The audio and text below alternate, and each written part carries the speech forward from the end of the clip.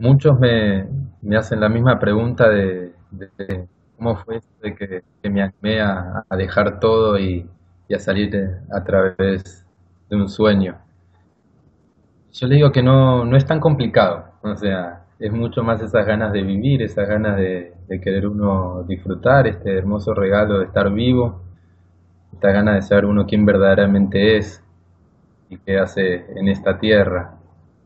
Entonces, es solo tomar esa confianza de, de que uno, de que uno sabe volar, aunque no nos enseñaron a volar porque en la ciudad no, nos quitan, nos quieren cortar esas alas, uno interiormente sabe que sabe volar. Entonces, con esa confianza y con ese sentir en el corazón de que, de que uno tiene sueños y, y los quiere realmente volver realidad, uno se anima, sale, sin saber qué va a pasar, con esa incertidumbre, con esos miedos, pero con esas ganas, con esa corazonada de que todo va a estar bien. Y así es como uno se lanza a la aventura, a la aventura de su propio, de su propio sueño, de sus propios pasos. Y todo después se, empieza a dibujar solo. Y, todo resulta mucho más simple de, lo que uno creía, porque la vida es mucho más sencilla de lo que uno está acostumbrado y nos hacen creer.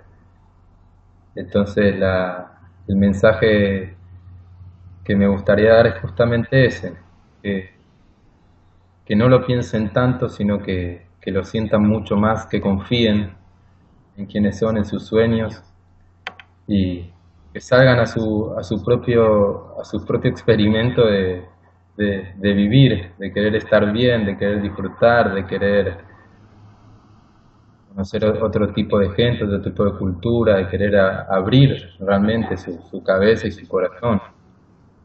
Y, y con eso lanzarse, lanzarse a lo que realmente aman.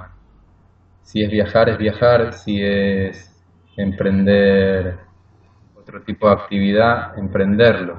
O sea, que después las cosas mágicamente se abren y, y resultan, resultan que realmente lo que uno soñaba se vuelve realidad y a veces se vuelve mejor.